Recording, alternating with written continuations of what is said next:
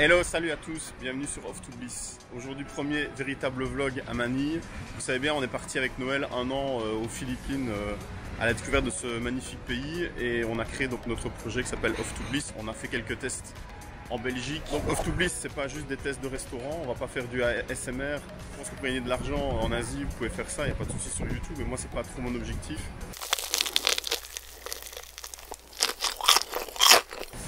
Euh, donc on va essayer de vous faire découvrir vraiment la, culture, le quotidien des, Philippins ici à Manille.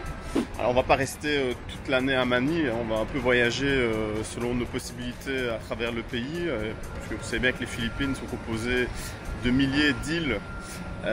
ici on est dans le nord du pays, mais plus tard dans l'année nous irons dans le sud, et notamment est prévu euh, bah, de retourner euh, chez Noël, donc euh, sur l'île de l'été, mais aussi d'aller à un mariage philippin au mois de juillet à Domaguete. on en reparlera un petit peu plus tard. J'avais un petit peu hésité sur la nature du, vlog et sur la forme du vlog, mais je pense qu'on va essayer de faire ça de manière assez humoristique. Et sous forme d'un petit journal qu'on va vous proposer une fois par semaine, sorte de bilan de notre semaine ici à, Manille et on vous proposera ben, nos coups de cœur, nos coups de gueule, euh, les choses qu'on a aimées, qu'on n'a pas aimées.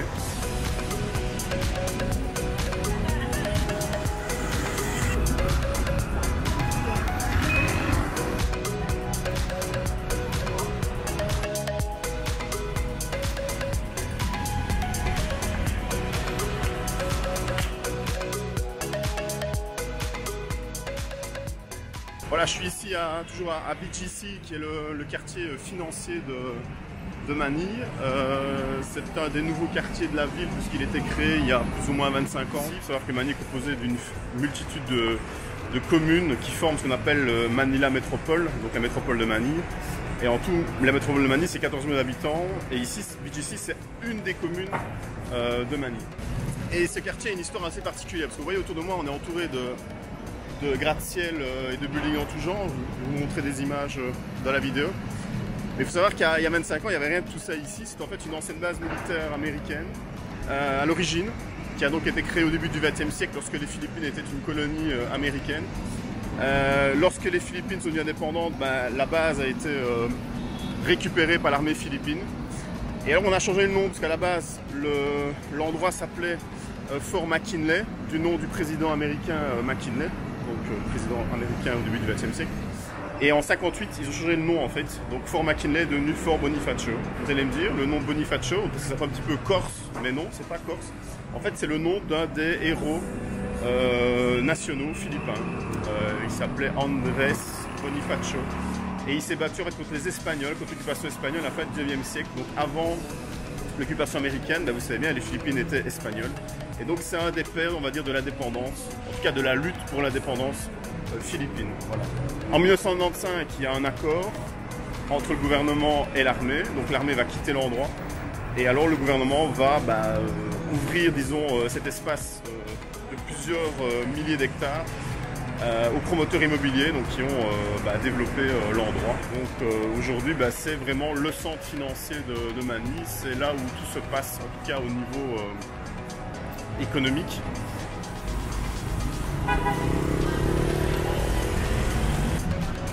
C'est très impressionnant, on a l'impression d'être euh, aux États-Unis, à New York, Manhattan. Et pourtant on est aux Philippines et euh, c'est incroyable.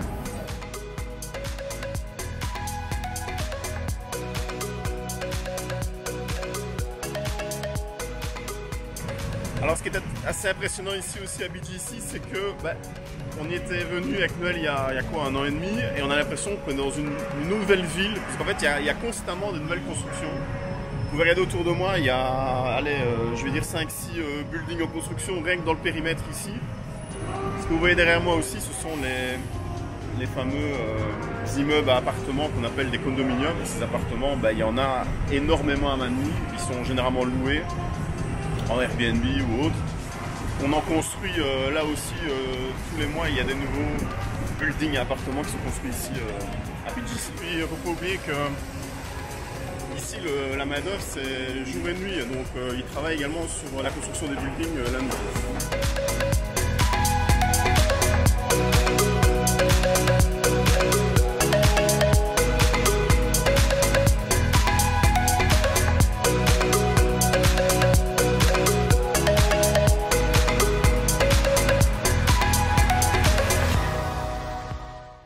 Question, est-ce que vous avez faim Oui, vous avez faim On a toujours faim ici à Manille parce que d'expérience, c'est une des villes où on mange le mieux et la diversité alimentaire est exceptionnelle. Vous pouvez manger euh, toutes les cuisines du monde si vous le souhaitez ici.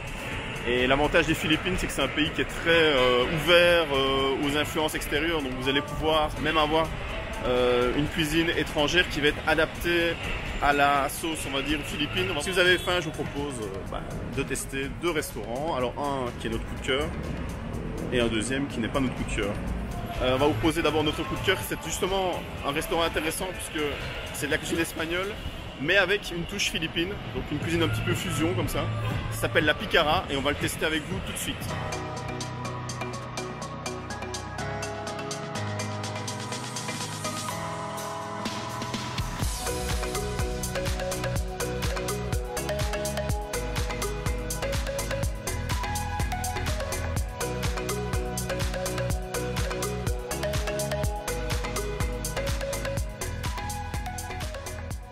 Donc ici c'est un restaurant de quoi ici notre tapas c'est ça Espagnol. Un mélange. Ah, ok.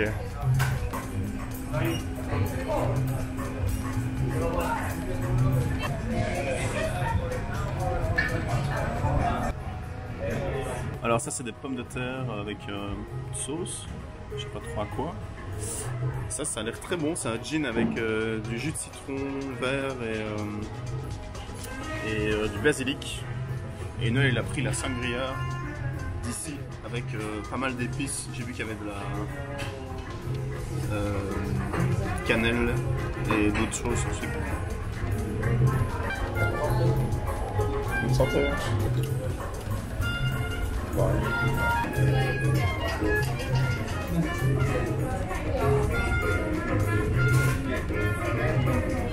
Hum, c'est très bon. Avec le basilic, c'est super bon. Noël, la sangria, c'est. Comment tu trouves la sangria C'est bon ou pas Il y a beaucoup d'épices. hein.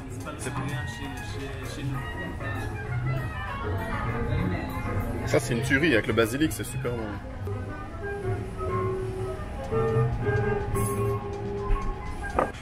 Noël, t'as commandé. On a commandé quoi alors Une paella Euh, Mhm. paella et tuna.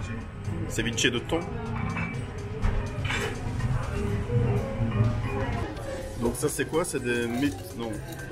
Meatballs? croquettes. Croquettes, pardon. Croquettes, c'est le croquettes, mais avec euh, Adobo? Non. philippin. Ah, c'est adobo. Non, c'est pas Non. beau, c'est euh, c'est comme Croquettes. épinards. Épinards, mais version philippine. Ah, c'est végétarien en fait, il n'y a pas de viande. Ok. Donc c'est des croquettes végétariennes à la mode philippine. Très bien, c'est très, très beau. Ça donne faim en tout cas, oui, ready.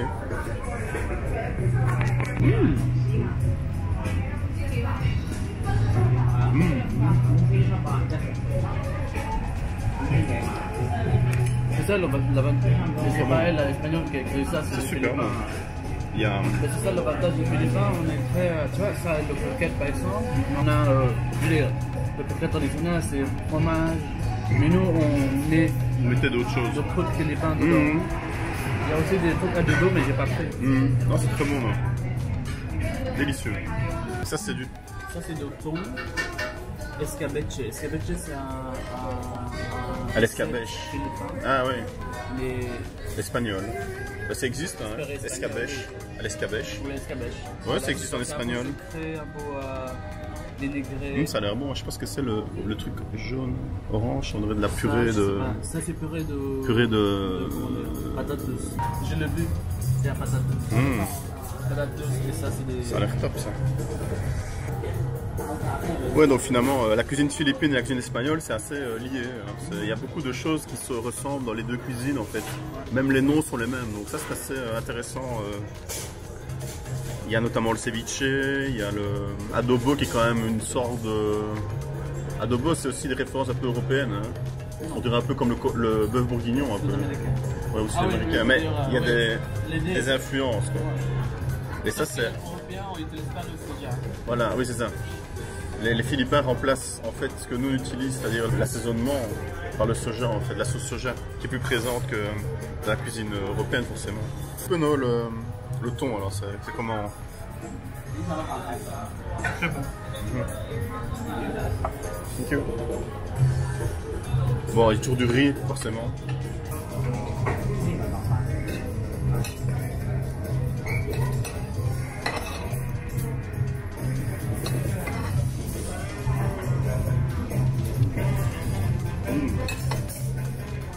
C'est très bon. Très fin en fait. Je regarde, ici c'est normal.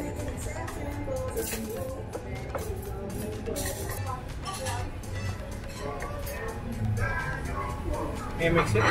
Yeah, yeah, thanks. Ah, c'est marrant, non Thank you.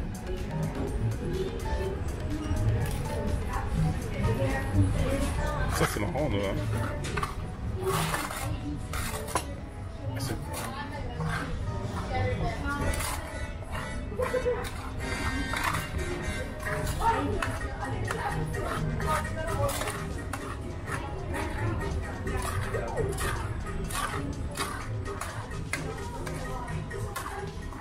Donc voilà, donc c'est une paelle là de, de crabe et le truc original c'est qu'il te, la, il te, la, il te la mélange devant toi quoi. Ça c'est quand même pas mal. J'aime bien parce que c'est pas, c'est là, tu vois, c'est pas. ouais. Ah oui, c'est pas du tout comme chez nous. Ça c'est. Ah, c'est c'est bon. Mmh.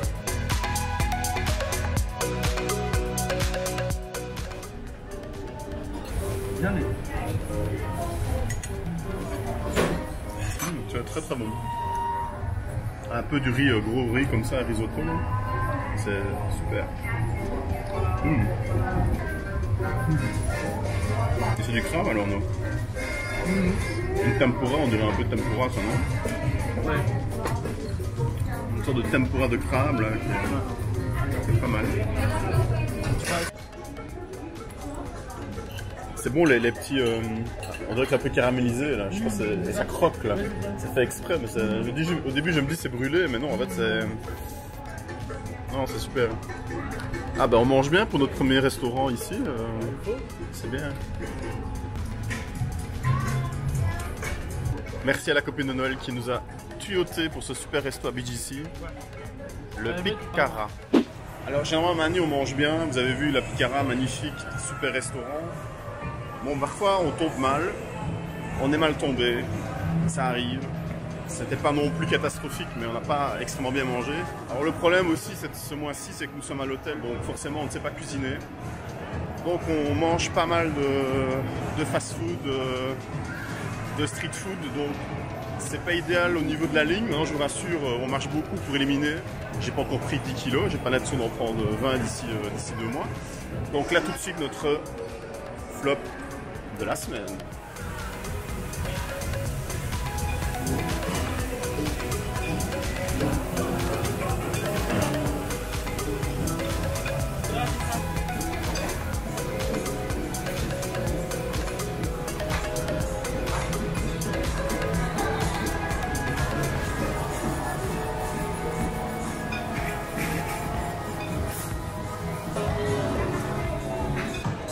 À BGC ici, euh, on est en train de, tester des, restaurants un peu de, street food et euh, notamment euh, une espèce de.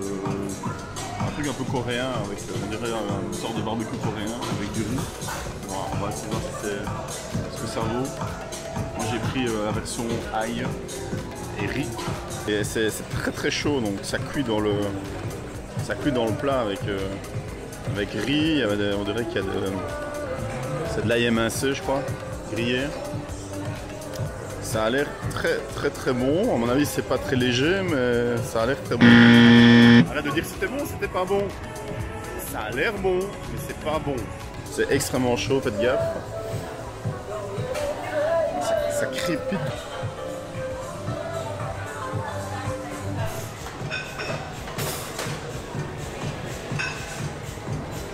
Le barbecue coréen, bah, c'était vraiment pas euh, exceptionnel. Vous avez vu, euh, ça manquait un peu d'épices, c'était très gras et les lamelles euh, de bœuf c'était vraiment très très fin. Donc euh, Bon, pas très cher au prix, hein, puisqu'on est aux alentours de, des plats à 4 euros, mais au niveau qualité et quantité, c'était pas du tout optimal. Le moment what the fuck de la semaine. Alors là, il m'est arrivé une mésaventure. Vous voyez, je n'ai plus de, montre au poignet puisque mon Apple Watch cassé. je, je, ne vais même pas dire cassé, je vais dire fissuré puisque euh, bah, en fait on était euh, dans un des fast-food philippins que vous connaissez, Jollibee.